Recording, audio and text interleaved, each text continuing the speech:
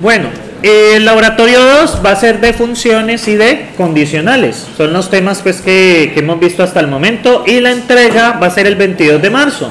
O sea, antes de Semana Santa no les quiero molestar la vida. En Semana Santa porque recuerden que el parcial ya se está acercando. ¿Sí? Es la semana des- o sea, la semana después de la semana después de Semana Santa, o sea, son 15 días después de Semana Santa y no estoy mal. Entonces, ¿qué debe entregar? Informe en formato PDF y la solución punto .1, punto .2, punto .3, punto .py. Entonces, debe entregar este laboratorio por el campus virtual hasta el 22 de marzo de 2024 a las 23.59 horas de Colombia y las entregas atrasadas se sancionan con punto .3 por hora o fracción de hora acumulada. Y ahí pues ahí se explica. Las condiciones para entregar el taller debe haber diligenciado, eso lo estoy dejando claro aquí, la encuesta de formación de grupo, la cual eh, si era el 16 de marzo 23, no diligenciarla se entiende que no entrega el taller.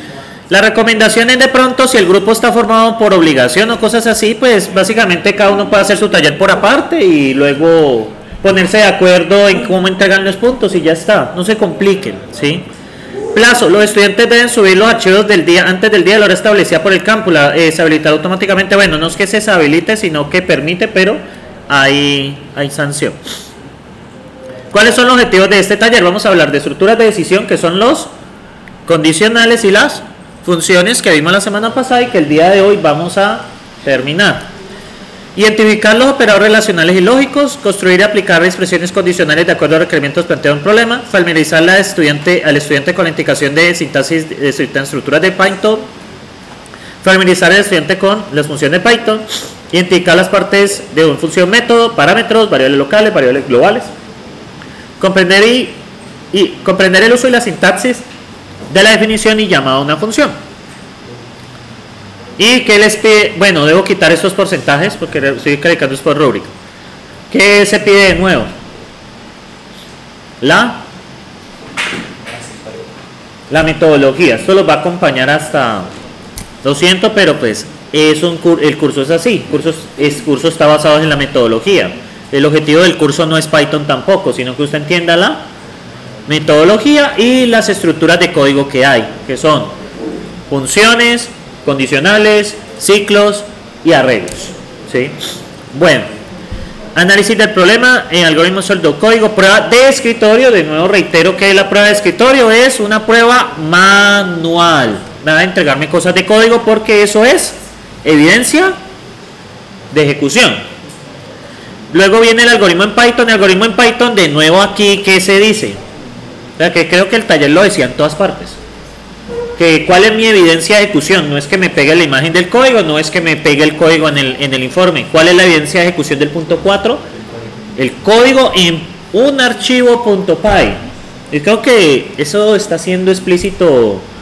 No sé si es problema de lectura o fue pereza, pero, pero pilas con eso. Siempre entregar el código fuente.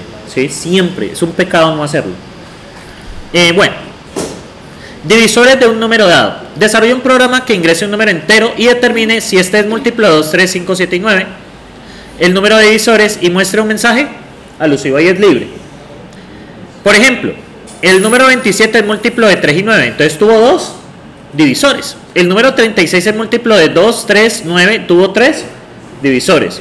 El número 90 es múltiplo de 2, 3, 5 y 9. Tuvo cuatro divisores. Ahí se les recomienda utilizar la operación módulo que el módulo es el residuo de la división. Si un número es divisible por otro, ¿cuál debería ser el residuo de la división? Cero. ¿no? Entonces, la operación porcentaje le será muy útil en acá, que es la operación módulo. Igual acostúmense a eso que en matemáticas discretas 1 eso va a estar a la orden del día. Bueno, calculando las cuotas mensuales para un préstamo. Cuando un asociado de la cooperativa del financiero solicita un crédito, indica el valor solicitado y la duración del crédito en meses. Con esto se calcula el valor de la cuota mensual que debe pagar el asociado. Desarrolla una aplicación que permita registrar el valor del crédito solicitado y el periodo en meses. Ambos valores son de tipo entero. Después de ingresar los datos mencionados se debe calcular el valor del interés. Para ello se tiene en cuenta la siguiente. Entonces, si el valor del crédito es menor que 2 millones y el rango está entre 1 y 12 meses incluidos, recuerden que esto es incluidos, entonces ¿cuánto es el interés mensual? 3.5%. Si el valor está en 2 millones incluidos, ¿hasta dónde? Hasta 6 millones incluidos. El periodo, el rango sería 12 meses sin incluir. ¿Qué quiere decir esto? Mayor que 12. Recuerden que rango abierto es que no incluye el límite, no incluye el extremo. ¿Vale? Y hasta 24 meses incluidos, ¿cuánto se cobra? 3%. El valor del crédito está entre 6 millones, no incluido, o sea, mayor que 6 y menor o igual que 10 millones. Y el periodo está mayor que 24 meses y menor o igual que 36. ¿Cuánto se cobra? 2.3. El valor del crédito es mayor que 10 millones y el periodo es mayor que 60 meses. 1% del crédito. Valor del crédito es mayor que 10 millones y el periodo es mayor que 60 meses. ¿Se cobra? 1%. Y en otro caso, 1.8.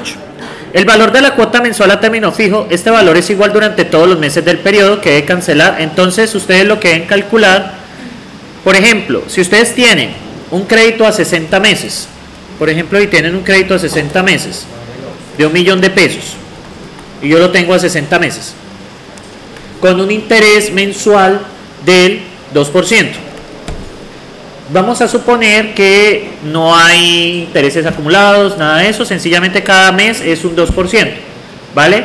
Y se va a calcular sobre el total.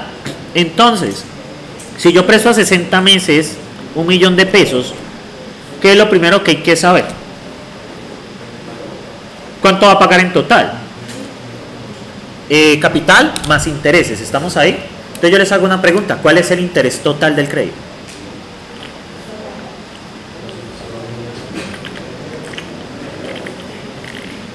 Si yo les cobro a ustedes 2%, ¿cuánto es el 2% de un millón? 20 mil pesos.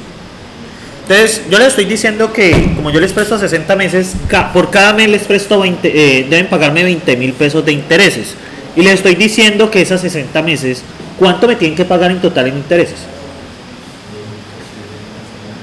Eh, ¿Cómo? 20 mil por 60, ¿sí? ¿Vale? se liquida sobre el total. Yo sé que así no funciona en los bancos porque realmente si uno paga el interés se calcula sobre el valor a capital, pero no nos vamos a complicar. Sencillamente asuma que el interés se cobra es total.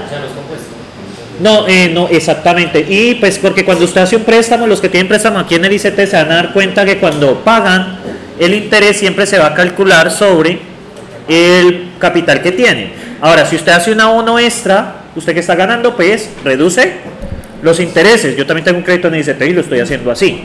¿sí? Yo pago un poquito más del valor mínimo. Eso es un buen, si está la posibilidad, eso es una buena estrategia para poder reducir eh, el valor de los intereses. ¿sí? O sea, el interés porcentual es el mismo, pero como el capital es menor, ¿qué pasa con el valor?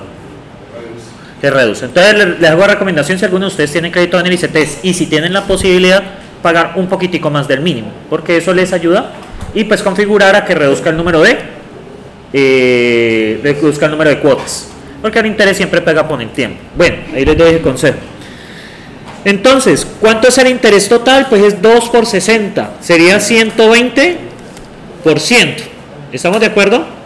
porque es 2% en 60 meses sería 120% que sería lo mismo que tener 20 mil por 60 ¿cuánto es el 120%? sería un millón 200 mil de intereses. ¿Cuánto es la suma de capital más intereses? 2 millones 200 mil. Y como lo pago a 60 meses, ¿qué hago? Lo divido entre 60. Este se va con este se va. ¿Sí? ¿Estamos ahí? ¿Y cuánto es 22? Y esto da aproximadamente, ¿cuánto es 22 entre, veamos, entre 6, 220, entre 6... Bueno, podemos sacar dos veces mitades. La primera mitad es millón cien, que esto lo hemos dividido entre 3 y hasta ahí llegué. Y esto millón cien entre 3 es como tener 333 mil punto 333 de esto más los 100 mil que sería 33 mil 333. ¿Cuánto da esto? 9, 9, pero es que 9. 6, 6, 6, 6 Creo que a 366 me confirman. Ustedes hacen la división. 6, eh, bueno, continuo. ¿Listo? Entonces debo pagar 366.666 mensuales. ¿Vale? Eso es la respuesta. ¿Me siguen ahí? ¿Sí pillaron lo que se hizo con el interés? Sí, se dividió por el valor total del eh, las Por el periodo. Como usted paga cuotas Eso se mensuales. divide- Eso se divide por las cuotas y el número de. Exacto. Y sale el resultado, se cancela el cero y el Pero creo que no es 300, sino 36 mil pesos, ¿cierto? Es 300 36 mil pesos, porque la cuenta no me da por 60. Entonces, listo. Ahí está. Eh, ahí estaría, 36.666. Ahí no paga 40 y Entonces, esa es la respuesta que quería dar el algoritmo ahí. ¿Sí me siguen? Pues eso es una función pues que te va a devolver el valor de la cuota. Eso es una función. Profe, y si digamos está entre, entre 37 y 60 meses, entraría en el cualquier su caso. Todo lo que no, como estos son is, tú lo que haces, las dos condiciones deben cumplirse. Cualquier cosa que no esté cumpliendo ninguna de las condiciones se le va al otro caso. O sea, cualquier cosa que no le cumpla siempre va a ser 1.8%. Es importante es codificar bien los condicionales. Uno tiene que tener en cuenta más que todo los meses. Sí, eso lo más importante son los meses. Hay unas recomendaciones en los, en lo, y pues que voy a, ya me doy cuenta que voy a hacer unos ajustes en las rúbricas, es que lo primero que voy a pedir es que deben ser funciones. Ya no me sirve el código así suelto, deben ser funciones. Y lo segundo es que voy a pedir explícitamente que prue- las pruebas de escritorio deben cubrir siempre uno de los, cada uno de los casos del condicional. Entonces, ¿cuántos ejemplos necesitan en este, en este ejemplo? Necesitan cinco ejemplos. Uno, dos, no, cinco. Cinco ejemplos. Con eso se aseguran ustedes de que cumpla el código esté bien hecho. ¿Cuántos ejemplos necesitan acá?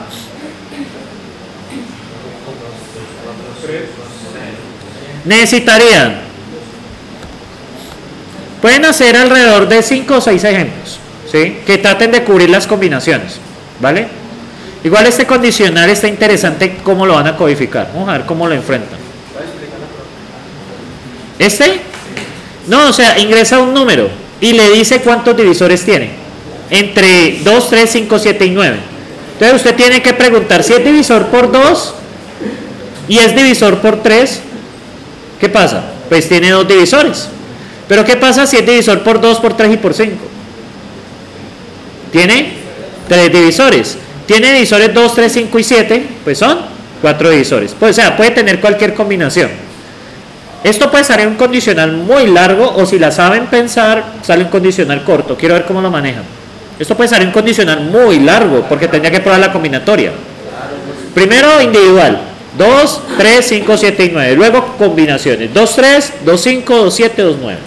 Luego 3, 5, 3, 7, 3, 9. Luego 5, 7, 5, 9 y luego 7, 9. Eso es larguísimo. Pero hay una estrategia de hacerlo un poco mejor. ¿sí? Sin necesidad de tanto condicional. Quiero ver cómo lo manejan. Eso ya los delego a ustedes. ¿Sí? No. Solo condicionales. Recuerden pues que eh, recuerden que aquí solo estoy hablando esto, ¿no? Sí, porque yo sé que con un for y una lista eso sale votado, pero no. ¿Sí? Con un for y una lista, pero no, no se puede. Porque sería una lista que tenga 2, 3, 5, 7 y 9, pero eso sería ya para el taller 3 que lo podrían usar. Recuerden que de este taller estoy hablando son funciones y condicionales. Entonces, ceñirse a eso, please. ¿Listo? Bien.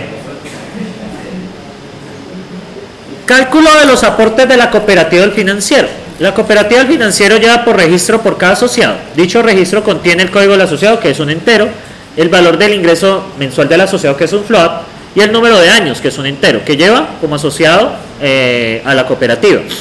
Defina funciones que reciban parámetros y retornen un valor que permitan calcular.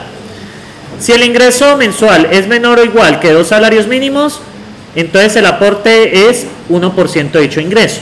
Si el ingreso eh, mensual es mayor que dos salarios mínimos, o perdón, mayor que dos salarios mínimos, o seis, o mayor que seis salarios mínimos, el aporte es del 2% de dicho ingreso. Si el aporte es mayor que 6 salarios mínimos, entonces es 2.5% del ingreso. Ahora, usted para primero pues paga un aporte de acuerdo a, a lo que gana, de acuerdo a salarios mínimos. Y luego hay otra cosa que le sacan a usted que es la cuota para el fondo de recreación. Y ese depende del número de años que lleva la empresa. 0.25% si lleva 5 años o menos. 0.3% si lleva más de 5 años. El asociado de que desea aportar al fondo de solidaridad debe hacer un aporte del 4% de su salario mensual. El del programa debe preguntar si el asociado quiere hacer ese aporte. Y el valor total del pagar al asociado será la suma de eso se toman sobre el total de salario. Entonces, si él gana un millón de pesos, entonces a ese millón de pesos, como es menor que dos salarios mínimos, se le sacaría el 1%. ¿Cuánto es el 1% de un millón de pesos? Serían 10 mil pesos. Luego saldría el aporte por el fondo de recreación. Supongamos que lleva 5 años o menos. Entonces, es el 0.25%, es un cuarto del 1%, o sea que sería 10 mil entre 4 que sería 2.500 pesos. Ahí van 12.500 pesos. Y eh, si él quiere o ella quiere aportar al fondo de solidaridad es un 4%, sería cuatro veces más que el 1%, que serían 40 mil pesos. Si lo desea hacer, ¿cuánto pagaría en total? 52, 500. 50, eh, perdón, 40 mil más 10 mil más 2.500, ¿vale? Y pues básicamente imprimir los resultados. Bueno, aquí en este taller doy varias pautas. Voy a modificar ahora la rúbrica que me di cuenta para dejarlo más claro. Es obligatorio usar funciones. ¿sí? Es obligatorio porque ya estamos en ese punto. Ya no quiero más programitas así tipo imprima, lea y ya. Eso se acabó. Ahorita son con funciones. ¿Listo? Eso es lo primero. Las funciones, eh, bueno, falta colocar en las rúbricas, las funciones deben tener entradas y deben tener retorno. Las funciones no deben de imprimir. ¿Listo? Es una restricción que le estoy colocando. Las funciones no deben de imprimir, no deben de hacer. ¿Sí? ¿Vale? No deben hacer. Como lo vimos la semana pasada, datos que entran y un dato que sale. ¿Listo? ¿Estamos claros con eso, muchachos? No quiero prints dentro de las funciones. Voy a rebajar por eso. Yo voy a poner una voy a modificar la rúbrica ahora. Entonces, claro sobre este de la cooperativa. Ahora, ¿cuál es el valor del salario mínimo? Para no complicarnos, para no complicarnos, usen el valor del salario mínimo actual, que es 1.365. Se lo consiguen por internet. ¿Vale? Se lo consiguen por internet. ¿Estamos claros? El salario mínimo, pues, es el actual, o sea, búsquenlo en internet y ahí les aparece el millón trescientos sesenta y cinco, si no estoy mal. ¿Vale? ¿Todo está bien? ¿Preguntas? Vale. La rúbrica de evaluación. Agregué esto que es la estructura, eh, yo agregué esta, que es estructura de la entrega, esta es nueva, Entrega archivos con archivos comprimidos dentro de archivos comprimidos.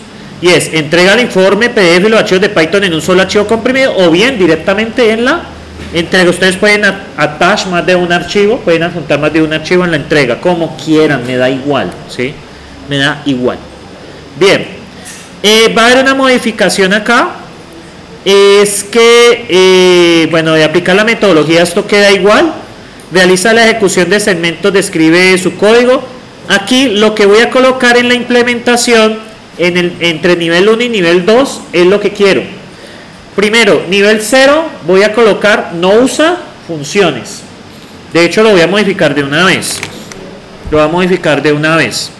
Y lo voy a subir de una vez. ¿Vale? No vayan a descargar el archivo que, que está ahí para que no vayan a tener después dolores de cabeza. Vamos de una vez. No, pues lo borran. Sí, porque ya me di cuenta que, es necesario. Entonces, ¿qué va a haber acá? ¿Qué va a haber acá? Entonces lo bajamos, yo ahorita lo vuelvo a subir, pero pues como está grabado me curo en salud. Lo primero que voy a hacer es eliminar estos, porque esto realmente yo no estoy calificando por porcentajes. Estoy calificando es por... Estoy calificando vía rúbrica. Bien. Entonces, acá, listo. Entonces, acá, ¿qué cambio hay? ¿Qué, qué cambio hay? De una vez les muestro a ustedes para que no haya lugar a dudas. Eh, debería de tener aquí más o menos esto. Listo, organización de la entrega, no entrega el informe, esto está bien. No implementa el código en Python o bien no hace funciones que trabajen los puntos. Listo, no es suficiente solo con hacer funciones, sino que las funciones deben trabajar los puntos. Entonces, las funciones no, no manejan todas las entradas o bien tienen prints internos o bien no tienen retornos. Las funciones tienen las entradas que requieren, no tienen prints internos y tienen retorno, que es lo que yo quiero ver en este taller. En, los, ejemplos de ejecución voy a cambiar algo. Y es que no es eh, al menos de los tres ejemplos, sino y realiza los ejemplos evaluando qué? Cada caso del condicional.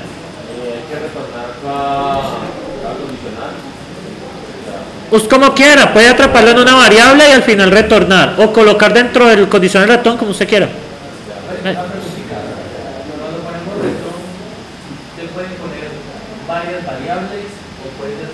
Solo una. Si usted coloca con comas, eso es una estructura que se llama tupla. Python Sub siempre te devuelve una cosa. Siempre. Entonces solo una variable pueden retornar. Sí. Eso ya es del segundo corte. Porque en Astupla me toca explicarles cómo eso aterriza en variables. Muchachos, es por temática. Nada de utilizar tuplas por ahora. Entonces, o sea, ¿por qué? ¿Qué estamos en este momento? Estamos en esa... Evaluando cada caso del condicional. Listo. Ajustando capas de al menos tres ejemplos. Bueno. Me toca modificar esta al lado. Que es muy sencillo. Entonces, la, realiza la prueba de escritorio con algunas fallas. Al respecto al pseudocódigo, los ejemplos evaluando o, o no realiza los ejemplos evaluando cada caso o no adjunta. Listo, ya está la rúbrica bien. Y recuerden que aplica la metodología vista en clase, ¿no? Eso es lo que les espera acá. ¿Es claro lo que quiero con respecto a la implementación? Sí. También coloco acá, exacto. ¿Qué, qué pasa? Las se evaluará caso 1, entonces se evaluará nivel 1, tam- eh, se aplicará este caso si usted hace funciones que no resuelvan el problema, o sea, es decir, por hacerlas, y la segunda es, o si estas incluyen prints internos. No quiero ver eso. ¿Sí? Eso es una mala práctica. Ya el otro mes, ya cuando tengan esto interiorizado, hagan lo que quieran. Pero por ahora no quiero prints. Porque quiero las funciones en su esencia. ¿Qué hace una función? Recibe y devuelve. Esa es la esencia de una función. ¿Vale? Entonces por ahora las quiero así. ¿Vale? Ya a medida que soltemos un poco más, ya pues flexibilizamos. Pero por ahora quiero que usen las funciones en su esencia. Como entrada y salida. ¿Estamos de acuerdo? Listo. Entonces, pues creo que esto fue lo suficientemente claro. Yo ahorita subo entonces la versión modificada del, del taller, pues para dejar claras esas, esas cositas. Bueno, eh, ¿esto no guardó? Bueno, está guardando ahí. Bueno, mientras eso guarda, ¿qué pasó acá? Ah, no ha guardado. Yo ahorita en el descanso lo.